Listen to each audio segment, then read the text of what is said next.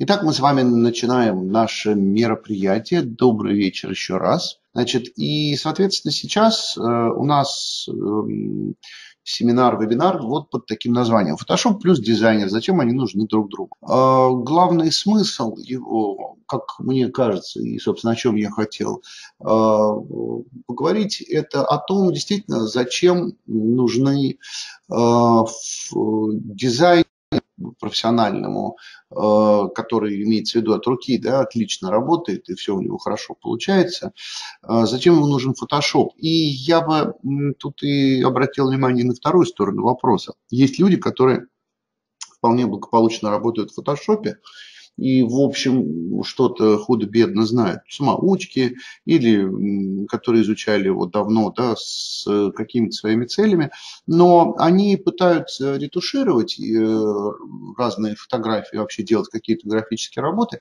но они у них получаются не очень хорошо.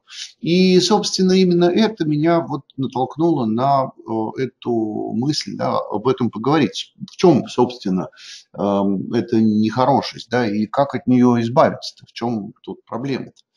Вот, э, вот, собственно, меня зовут действительно Красновский э, Дмитрий Валерьевич. Я здесь специалист, преподаю разные направления, дисциплины, связанные с графикой, с дизайном, с фотографией, с, естественно, с фотошопом и с ретушью, с обработкой э, в программах да, различных вот этих вот всяких графических вещей. А, вот, делают, собственно, давно, с удовольствием, и э, вот поэтому, собственно, именно на эту тему я вот и хотел бы с вами сейчас э, немножечко так вот, э, значит, это вот я, и, собственно, вот мое предложение, которое у меня было изначально, только единственное, что попрошу вас, если вы действительно хотите участвовать в разборе, показать свои какие-то работки, или те, по поводу которых у вас есть вопросы, вы, пожалуйста, мне только сообщайте о том, что вы мне на почту отправите письмо сейчас, да, а, чтобы я знал, что вообще надо на почту сходить. Вот, значит, это два моих мейла, один корпоративный, второй мой собственный. Вот, э, ну, чтобы не увлекаться уже, да, какие-то нужны рамки, поэтому не более трех работ. Нормальное техническое качество, но имеется в виду, что если вы хотите, чтобы работа была, так сказать, обсуждена достаточно достаточно детально и качественно, то, разумеется, лучше, чтобы она была нормального размера. Вот, ну, в заголовке указать разбор. И еще одна важная э, что если хочется пожестче, так сказать, посерьезнее разбор, то стоит указать специально, потому что обычно, в общем, я по умолчанию считаю, что нечего людей травмировать, их психику э, бедную, поэтому рассказываю, так сказать, таких всяких приятных э, выражениях. Вот, еще раз напоминаю, если, в общем, хочется, отсылайте, только единственное, что не забудьте предупредить меня сейчас прямо об этом. Итак, э, значит, э, мы с вами можем говорить да, на интересующую нас тему. Итак, что у нас есть, собственно, да, с чего мы начинаем и вот что является отправной точкой для этого разговора. Э, для этого есть у нас две, да, как мне кажется, действительно вот эти стороны, про которые я уже Э, упомянул.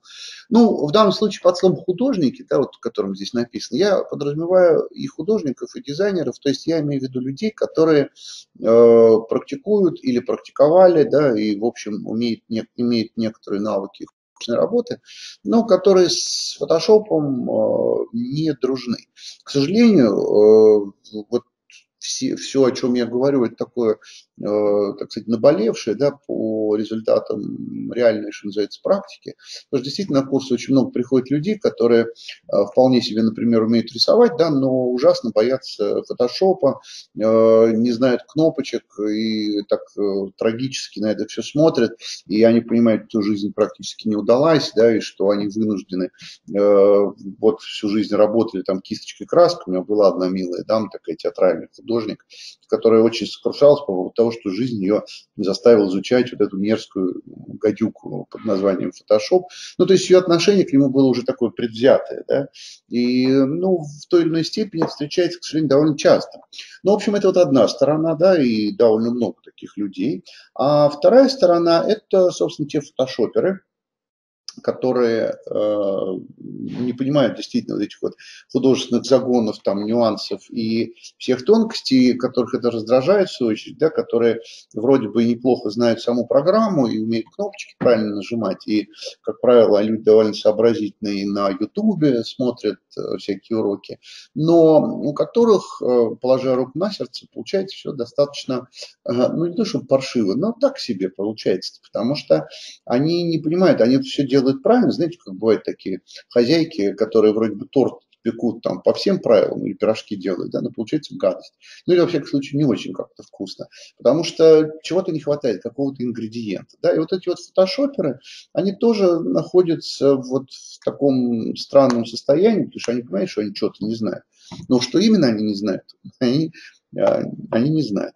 Ну, это, в общем, вот эти вот две категории такие есть люди. И вопрос, собственно, да, в том, э, их проблемы и как эти проблемы решить. То есть все, что я могу сделать вот сейчас, да, за эти там 20 там, минут, полчаса, это просто попытаться обратить внимание да, на те проблемы, которые существуют у тех и других, с тем, чтобы эти проблемы можно было попытаться каким-то образом э, решить. Да? И вот, собственно, э, если мы условились, да, что у нас есть деление вот на эти две категории, как бы художников и как бы фотошоперов, да, вот мы можем обсудить, извините, чехотка дает на себе знать, как никак не выздоровел. И вот мы можем обсудить что им, собственно, мешает да, хорошо себя чувствовать и благополучно двигаться вперед. Вот они проблемы художников, повторю, по мотивам тех а, а, представлений, которые вот у меня есть на основе вот тех курсов, собственно, которые я веду. Первая чудовищная, конечно, проблема, которая, надо сказать, очень печально всегда смотрится, это действительно компьютерная неграмотность, по-другому не скажешь. Понимаете, эти милые люди, в частности, та дама, про которую я упомянул, э, театральный художник, напомню, и э, люди э, вот подобного типа, склада, которые прекрасно пишут картины, которые все, знаете, пропахли масляной краской и вообще отлично умеют все это делать, э, которые Э, считают, что компьютер это, это гадость. Да? И когда они приходят на курсы по э, фотошопу, они всегда очень доверительно, э, мне нравится, я люблю этих людей, очень симпатизирую, но они так доверительно всегда склоняются, как бы э, извиняясь, да, ко мне и говорят, вы знаете, я вообще-то никогда не думала или там не думал, да, что мне придется этим заниматься. Ну, то есть в том смысле, что э, они понимают, вот повторю, да, что им ужасно в жизни не повезло, что им приходится, их жизнь затолкала заниматься какой-то неприятной. И вот это вот первая очень серьезная проблема, которая у них существует. Это люди, которые... Вообще понятно, что любому нормальному человеку довольно тяжело, да, тем более, если он взрослый, и если он достаточно давно и успешно занимается своей работой, да, в какой-то момент осознать, что нужно развиваться в какую-то э, совершенно непонятную область. У нас тут есть, знаете, курс такие, который называется БКП, базовая компьютерная подготовка. И ведет их один милый, очень молодой человек, ну не молодой в смысле, а коллега мой. И вы знаете, меня, честно говоря, поражает, что эти курсы компьютерной э, грамотности, такой базы, на них приходят, в общем, довольно взрослые люди. Э, то есть, ну, в моем представлении должны были быть такие, знаете, совсем уже какие-то пенсионеры из глухих, э, ну, не из глухих, а хорошо, но из, в общем, из каких-то отдаленных достаточно районов. Нет, и люди и по 20, и по 30 лет приходят, которые как-то умудрились ничего не узнать о компьютерах. И, в общем, для художников, да, и для дизайнеров, которые пытаются что-то делать э, на компьютере, естественно, что это огромное препятствие. Они ошибаются. И вот если кто-то есть из такого рода людей э, здесь, да, э, в числе присутствующих, поверьте, это очень серьезная проблема, и с ней надо, ее надо решать, ее надо, с ней надо не бороться, это не совсем правильно, да, ее надо принять как данность, потому что без компьютеров, да, современный, по-моему, художник не может ничего сделать эффективно. Моему папе 91 год, он бывший художник графики график, э, иллюстратор, да, и то я его подучил работать на компьютере, и ничего, сидит в удовольствие, книжечки, между прочим, верстает, так что научиться этому можно. А вторая проблема, такая более узкая, но тем не менее, которая довольно, довольно ярко проявляется, это неприязнь к графическому планшету. А, я говорю о тех инструментах, которые, собственно, да, вот существуют э, для художников. Компьютерный, это графический планшет, прошу не путать с компьютерным планшетом, да, который светится и на а, собственно, можно что-то смотреть. Да? Графический планшет – это то, что имитирует лист и бумагу. Это вакуум вот фирмы, да, которая делает. И правда, вот этих людей я тоже очень хорошо могу понять.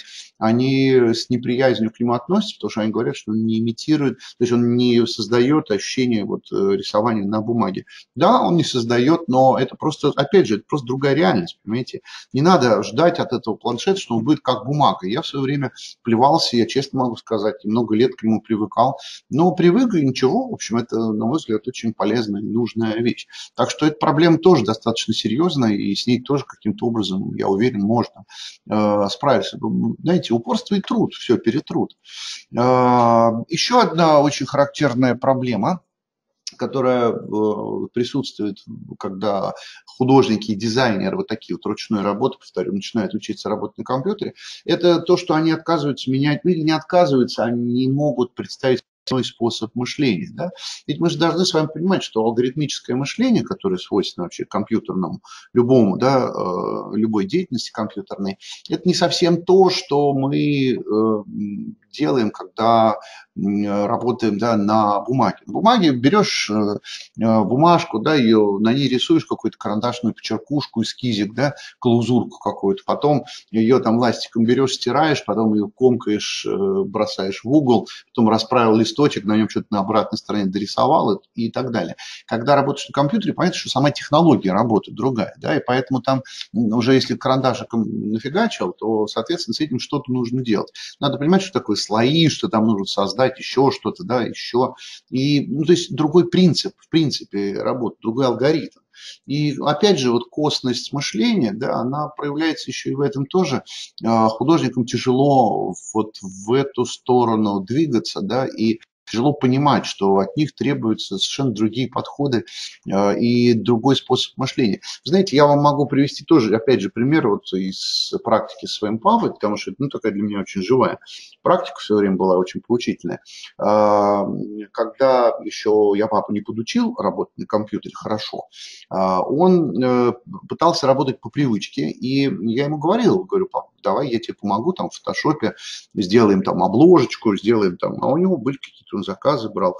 Эм, вот, и однажды, я помню, это был один из первых наших опытов, э, он позвонил и говорит, слушай, у меня тут есть одна заказчица из Германии, ей нужно, значит, сделать обложку на компьютере, э, обложку книжки, которая там издается. Я, говорит, взялся, она моя знакомая, попросил меня, вот, ты мог бы мне помочь? Я говорю, конечно, мог, и приезжай. Он, значит, приехал и так вот э, осторожно привез мне от руки напечатанные, то есть нарисованные, прошу прощения, э, от руки нарисованы несколько эскизов. Ну, как он привык всю жизнь, да, человек там, с 50-летним стажем работы, понятно, что он знает, что надо брать тушь, перо, там, карандаш, уголь, да, все это на бумаге создавать, и он там на просвет все это перерисовывает. И вот он сделает там 5 вариантов, 7, и, э, причем он их заботливо, он знал, что на компьютере можно как-то круче делать, чем от руки. Поэтому он, значит, их нарезал на кусочки, он решил, что на компьютере это будет легко сделать. И он говорит, вот так, извиняющимся тоже тоном, он говорит, ты знаешь, вот я вот тут нарисовал, нарисовал, вот я тут нарезал их на кусочки, давай их как-то, вот я знаю, можно их запихнуть в компьютер, и мы их поменяем местами там при необходимости. Ну, это были какие-то, знаете, там несколько элементов изображения, ну, то есть там человек, там текстовая какая-то часть, и когда я ему сказал, слушай, а давай, что, что зачем это все будем сейчас сканировать? Давай лучше мы вот просто возьмем и с нуля все это нарисуем, вот там векторами эти нарисуют человечка, ты мне скажешь, что он должен делать. Здесь вот мы сейчас подберем там из 500 да, шрифтов тот, который нужен, путем перебора, а здесь мы скомпонуем так, а здесь мы сейчас еще наложим какой-то эффект, да, тенюшки, обра... И, в общем, он был совершенно раздавлен, я не побоюсь этого слова, и потрясен, потому что он просто не понимал, э, что от компьютера ожидать, да, он понимал, что вот его вот эта вот ручная да, методика, она просто, это как бы, ну, другой, не то, что хуже, да, это просто другой в принципе подход. Поэтому вот эта вот боязнь, да, неготовность воспринимать новые приемы и вообще способы понимания, способы работы, да, это вот очень серьезная проблема для художников.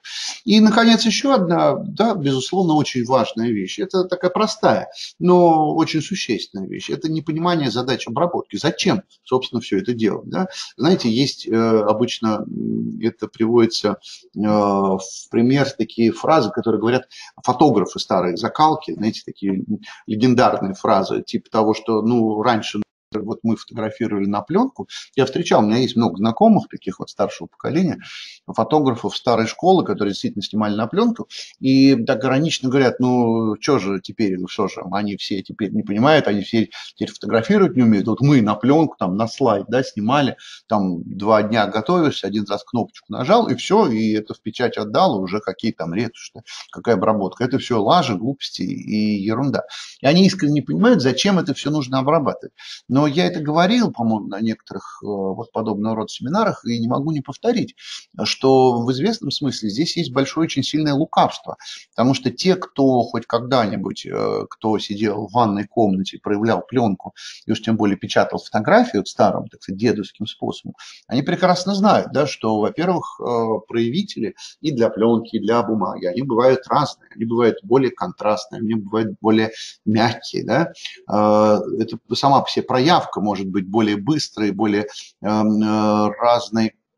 А, ну так вот, да, я говорю вот об этих э, фотографах и о том, что на самом деле обработка фотографий бывает очень разной, да, и обработка пленки бывает очень разная, и разные проявители можно смешивать там вручную. И в старые времена мастера, они э, знали, да, что для, когда там сфотографировал, например, там в пасмурную погоду, ну, условно говоря, то и все фотки получаются блекловатые, то надо намесить, намесить специального более контрастного проявителя, да, для того, чтобы, собственно, в целом вся пленочка проявилась более контрастно. А уж в процессе печати можно взять более контрастную бумагу, и сам процесс э, проявки, там же проявитель для бумаги, он тоже может быть по-разному использован. А кроме того, э, если на самой пленке да, или на негативе какой-то дефект, то, соответственно, прямо вот в процессе печати там пальчиками закрывали, может быть, кто-то знает такие приемчики, да, прям пальцем закрываешь какой-то участок изображения, и там просто не печатается. То есть делается, на самом деле, тоже ретушь, просто другими средствами.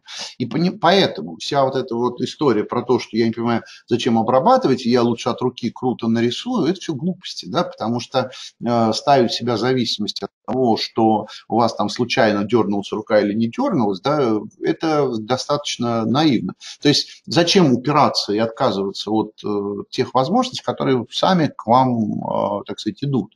Да, это я на самом деле полемизирую, так сказать, понятно, с теми вот художниками, дизайнерами, которые вот, ну, категорически или, так сказать, очень вяло отказываются от фотошопа и так как бы сдаются, понимаете, под напором.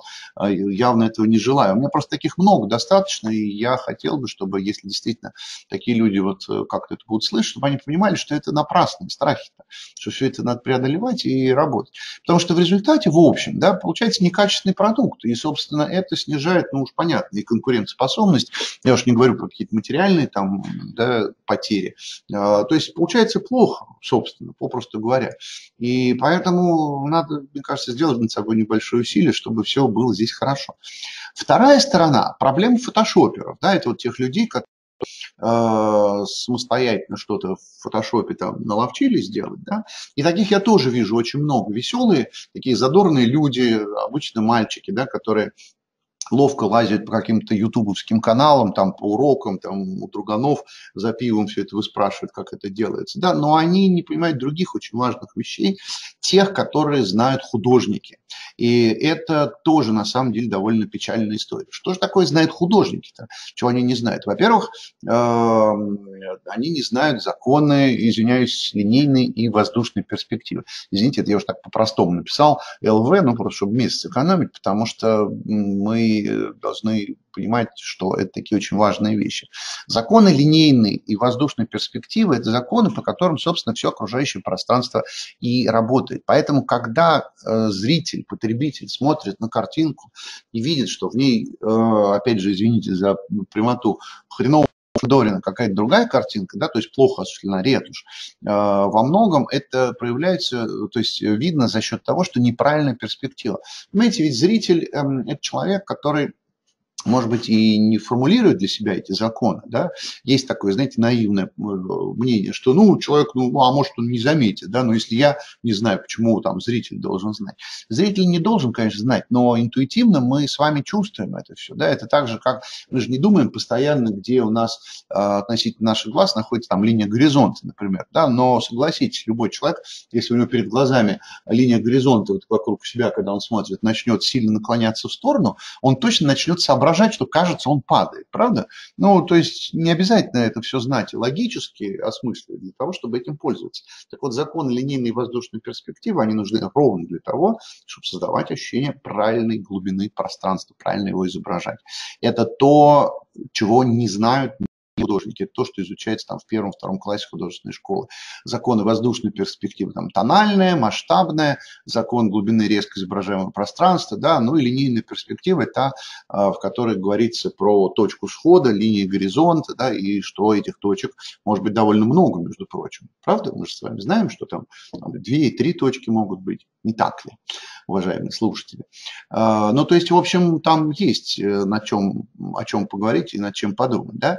Вторая, второй бич, я бы сказал, а, не грамотных, ну, так сказать, не художественно, то есть художественно необразованных ретушеров, да, это отсутствие знаний по, в области колористики. А, цвет не бывает э, интересненьким, цвет не бывает симпатичненьким, понимаете, это неправильный подход. Тоже сколько раз я это встречал, да, человек сидит, он знает, что в фотошопе есть там image adjustments, hue saturation, например, да, или там color balance. И он смотрит так на экран э, в задумчивости, и так думает, вправо, что ли, двинуть, влево, что ли, так начинает шерудить, знаете, вот думает, ну, что, знаете, вроде симпатично получается. Друзья, это не метод, это, это неправильный подход, да, потому что есть определенные принципы этой самой э, цветокоррекции, да, принципы колористики.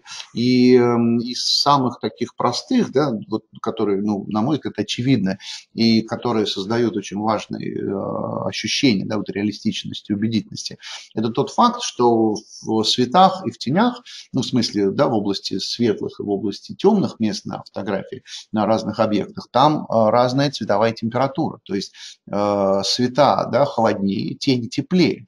Э, спросите себя, ясно ли вы себе это понимаете, да, и всегда ли, ретушируя, там, скажем, портрет, вы э, это воспроизводите. А между тем это очень важно воспроизводить, чтобы у вас не появилось, не получалось то, что получается в, при, когда мы смотрим с вами раскрашенный фильм те, кто не обращал внимания на это обстоятельство, спросите себя, нравятся ли вам вот эти вот раскрашенные фильмы, старые, черно-белые, да, они же раскрашиваются очень просто.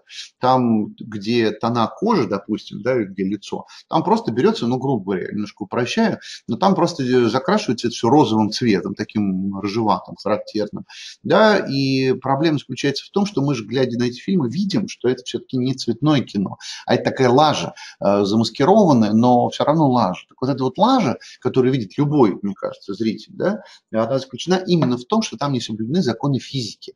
А вот законы физики, повторю, их много. И один из них, вот лежащий на поверхности, это вот то, что я сказал. Поэтому понимание того, что такое колористика, что такое сближенный тона, что как вообще получить хороший, правильный, естественный колорит, это очень серьезная проблема. Сколько у меня этих э, начинающих э, фоторетушеров, которые э, бывшие там, не знаю, экономисты, я э, прошу прощения, большим уважением, почтением отношусь ко всем, кто э, чем-то занимался и решил стать ретушером. И слава богу, что люди решили этим заняться, потому что это хорошее и правильное дело. Но в данном случае я говорю это с некоторой иронией, потому что люди, которые с этим никогда не сталкивались, да, они приносят э, фотку какую-то, какого-то известного фотографа и говорят, ой, вы знаете, я вот тут уже фотографирую вовсю, да, мне осталось только научиться ретушировать. Вот как вот он это делает? И показывает там фотку какого-нибудь, не знаю, там, сахара, ну, какого-то известного фотографа, да, но в том смысле, что им кажется, что если сейчас я им скажу, значит, правильные числа, то они, значит, начнут правильно уже ретушировать, и все, у них отбоя от клиентов не будет. Не будет такого. Я могу назвать эти правильные числа, проанализировав хорошенечко э, фотографию, да, безусловно.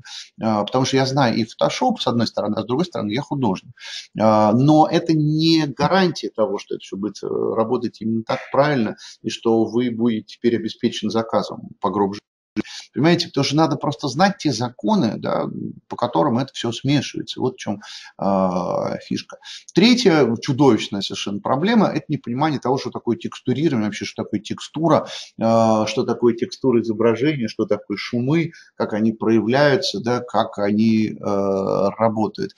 Э, безусловно, те, кто те, кого я называю художниками, у них тоже проблемы с этим есть, потому что они не понимают, что такое компьютерное вот это вот текстурирование, да, там noise, add да, там и так далее. Все эти вот там fade, я имею в виду ослабление, да, когда можно ослабить какую-то функцию, и в том числе и наложенный шум, да. Но фотошоперы, они не понимают, зачем эти шумы нужны. Им кажется, что чем картинка глаже, тем лучше. И отсюда, понимаете, вот эти вот чудовищные, зализанные такие, да, вот совершенно замыленные э, картинки, да, которые являются гордостью многих начинающих э, фотошоперов. Да, и потом, опять же, надо понимать, что у каждой картинки, если мы делаем, например, коллаж, у нее же своя текстура собственная, правда, зависящая от матрицы, от размеров изображения, от степени масштабирования, да, от э, качества предварительной обработки. И если мы хотим сделать э, убедительный, реалистичный коллаж, э, то мы должны понимать, что надо обращать внимание и на эту вещь, да, то есть на текстурирование изображения. Вот, и это тоже такая очень важная штука. Опять же, я не то, что призываю вас срочно все это начинать изучать, я просто в данном случае обращаю внимание вот вас, уважаемые слушатели, да, на то, что такие проблемы существуют, и надо отдавать себе отчет, что если у вас что-то не получается, да, надо спрашивать себя, а, вот все ли вам понятно, да, все ли вы достаточно хорошо знаете в этой области. И что удивительно, у тех, кто занимается ретушью, да, вот с фотошопа, у них точно так же нет понимания задач обработки. То есть у художников нет понимания задач обработки, зачем нужен, они спрашивают себя, этот дурацкий фотошоп, да, а фотошоперы, которые ловко владеют фотошопом, у них другая совершенно проблема. Они смотрят на фотографию, да, она им кажется совершенной, прекрасной, и они понимают, чего здесь можно улучшить? Вот одна из самых э, распространенных проблем. Ну что, да, ну смотри, ну вроде бы все хорошо, там розовые кожи, да, что там, э, он там на снегу э, тени лежат, да, от елки зеленые, там, не знаю, небо синее. Что еще можно делать? А эта проблема как раз возникает из-за того, что нет вот этого самого художественного э, видения, художественного понимания, да, что тени на самом деле лежат, но лежат они плохо, они лежат нереалистично, неубедительно, да, что там текстура на снегу, да, вот в этом месте они там должны отсутствовать, потому что это выходит за зону там глубины резкости, да, что понимают обычно хорошо фотографы, да, или там облака на небе лежат плохо, потому что они скомпонованы композиционно плохо, да, э, не так должны э, располагаться. Или какой-то элемент явно тянет на себя внимание больше, э, потому что там во время съемки он там, не знаю, выпятился, да, его явно чисто композиционно, по ритму, да, вот что такое ощущение там ритма, композиции, цельность вот этой самой композиции, надо убрать. Поскольку технари, опять же, извините за такие грубые слова, да, технари, они просто не понимают, что такое композиция, зачем она вообще нужна, да, то и, опять же не понимает задачи да, обработки. Опять результат тот же самый будет, да, некачественный продукт. Вот, собственно, в чем проблема-то, да. То есть, э, видите, какая получается история, что э, у тех, кто занимается технической стороной дела, у них свои проблемы, у тех, кто занимается творческой стороной, у них свои проблемы, другие совершенно совершенно, но и те, и другие нуждаются, несомненно, в том, чтобы развивать соответствующие навыки. А, ну, раз уж я об этом сказал, да, то давайте я как честный человек, все-таки мы должны понимать, да, что у нас по-прежнему э, есть некоторые да, задачи, связанные с курсами. Поэтому я вам пару слов скажу про те курсы, которые у нас есть, есть те, которые стартуют в ближайшее время, да, раз уж мы здесь с вами собрались это обсуждать.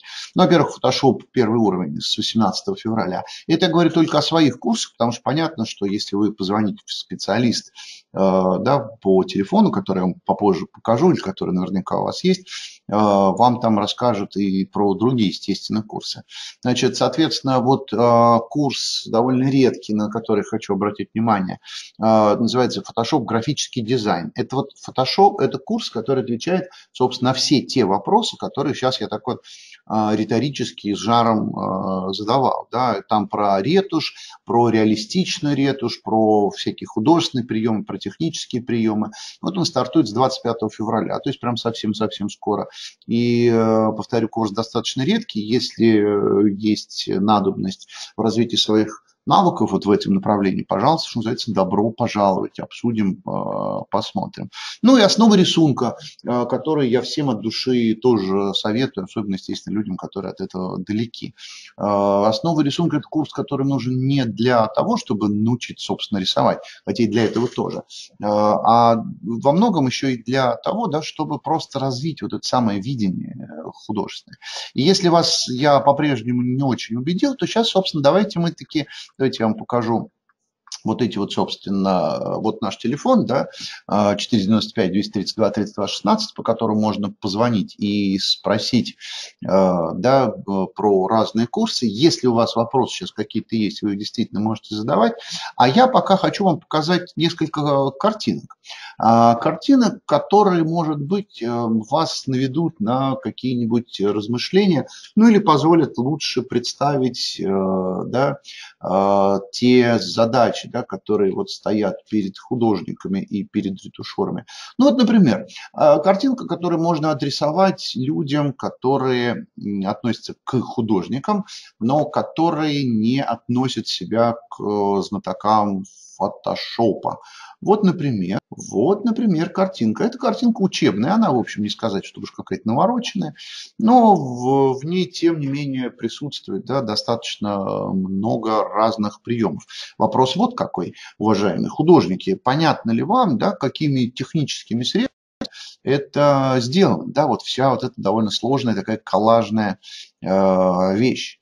А, ну, те, кто работает в фотошопе, я думаю, они понимают, о чем идет речь. Да? Но еще, помимо этого, могу задать еще тут целый ряд вопросов.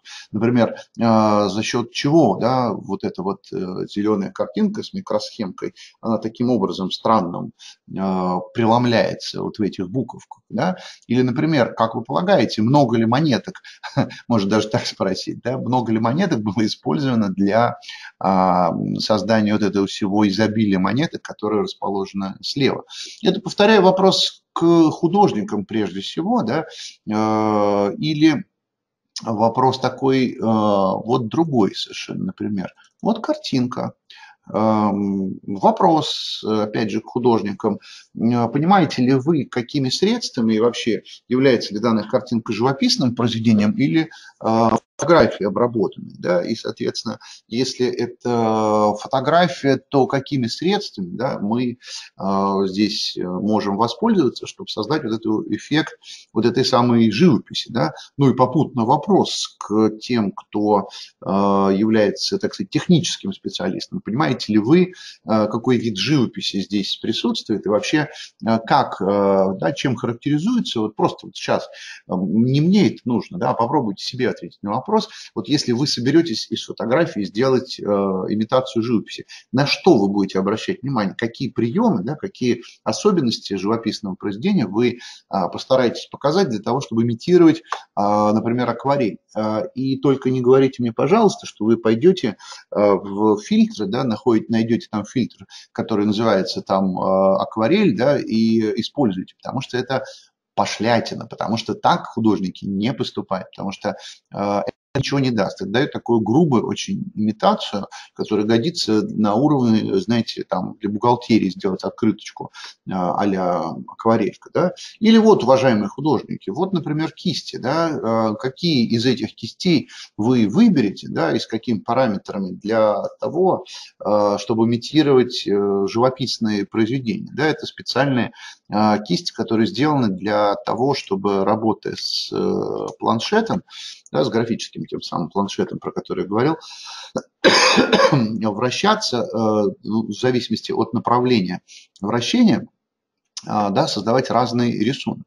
Или вот, например, вопросы к тем, кто технически себя считает э, достаточно продвинутым специалистом. Каким образом вы, уважаемые технические специалисты, можете имитировать вот такие вот живописные мазки? А это как вы понимаете, нормальные, реалистичные живописные мазки. Которые сделаны не в фотошопе, а на реальном холсте. И чем отличается, да, собственно, вот хорошее произведение от имитации? В том, что вот это все можно имитировать на самом деле, но просто это надо знать, как это делать. Вопрос простой. Понимаете ли вы, как это сделать?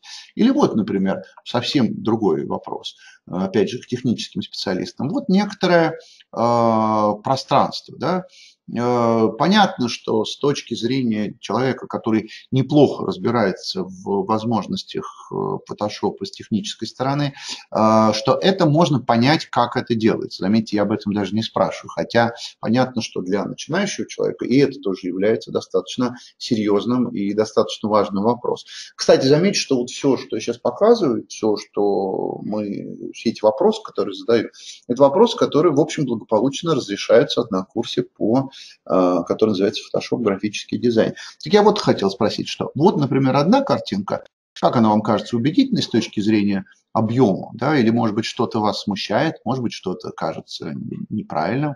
Если она вам кажется правильной, то, например, вот другая картинка. Может быть, эта картинка поубедительней, по объемней, а та картинка все-таки является достаточно сильной э, лажей, да, тут на самом деле и по направлению расположения теней, и по направлению бликов, и рефлексов, и контраста, и углов. Тут очень много, на самом деле, дефектов. Ну и так далее. То есть, э, это я к тому, еще раз повторю, что я не хочу вас ставить, так сказать, специально в тупик, да, я просто предлагаю вам задуматься о том, насколько вы, э, да, вот понимаете эту техническую или творческую сторону. Или, наконец, вопрос и тем, и другим, э, да, мы с вами должны понимать. Вот, уважаемые э, технологи, да, скажем так, да, люди, которые знают про Photoshop. Понятно, что для человека, который знает что-то про Photoshop, сделать такую картинку, в общем, не составит потому что там opacity, правда, там режим наложения, мультиплай какой-нибудь и все. Да, Представляете ли вы, у меня вот какой вопрос, представляете ли вы те принципы, по которым здесь подбирался цвет? А он подбирался по определенным принципам, не случайно, в общем, смотрится все это достаточно хорошо. А представляете ли вы те принципы, по которым, например, в подобного рода работах подбираются шрифты? А, да, а шрифт это все-таки часть художественного решения, вне всякого сомнения. Я думаю, вы это понимаете, да, и как его правильно, грамотно подобрать. Ну и, соответственно, вопрос э, к художникам, глядя на эту картинку, очевидный. Да? Собственно, представляете ли вы, как э, вот чисто художественно, э, как, то есть как технологически, извините, это сделать, осуществить такую вещь. Или вот вопрос к и тем, и другим. Да? Представляете, ну здесь, может быть, на проекторе не очень хорошо видно, но смысл э, понятен, я думаю. Да? Это фотография, понятно, что она обработана фотография. Но вопрос, да, во-первых, с какой целью была сделана эта обработка, что хотели передать, а понятно ведь что-то хотели передать. И вторая сторона, как, как технически это сделано, да, что здесь сделано, вот, э, изменено э, с точки зрения исходной фотографии, помимо levels, например, да, которые, я думаю, очевидно. Здесь явно что-то с этими levels ами крутили. Что еще здесь крутили, да, для того, чтобы э, появился вот нужный вот этот вот эффект. И обратили внимание, например, на чудесное виньетирование, которое здесь есть. Да? Понятно ли, как оно сделано и зачем оно сделано. То есть, друзья, вопросов много.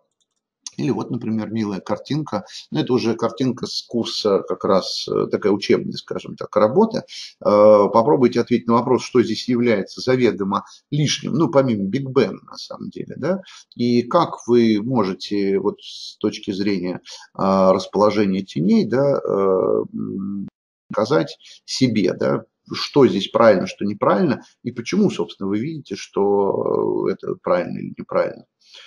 Вот, так что вот, собственно, это вопросики, которые, э, на которые отвечать словами было бы крайне затруднительно, да, собственно, и время наше заканчивается. Э, ну и последний, сейчас я вам покажу картинку, которая касается и тех, и других я имею в виду и технологов, так сказать, и фотошоперов, э, что вот это вот такое. Знают ли художники, да, как сделать технически вот такую вот картинку э, дизайнеры, да, и знают ли не дизайнеры, да, что это за штука, которая называется глич. А между тем, глич – это один из самых э, таких продвинутых современных стилей дизайнерских, э, стилей обработки изображений, очень востребованный, э, очень активно использующийся, который тоже, безусловно, требует определенных технических приемчиков. Вот, друзья, вот Собственно, э, видите, получилось, что у меня вопросов больше, чем ответов для вас. Ну, может быть, это и правильно, да, в конце концов. Нужно иногда инвентаризировать свои собственные представления, да, и задаваться вот этими самыми вопросами. Друзья, я дал свои e-mail, я, вот, собственно, этот телефон, да, специалист, можете позвонить. А, меня можно найти э, и позадавать всякие вопросы. Я считаю, что я свою миссию выполнил, э, предложив вам, собственно, задуматься об этой важной э, вещи. Еще раз напоминаю, что можете обращаться да, ко мне, и в сам специалист по поводу разных курсов. А, ну вот, и, собственно, до новых встреч.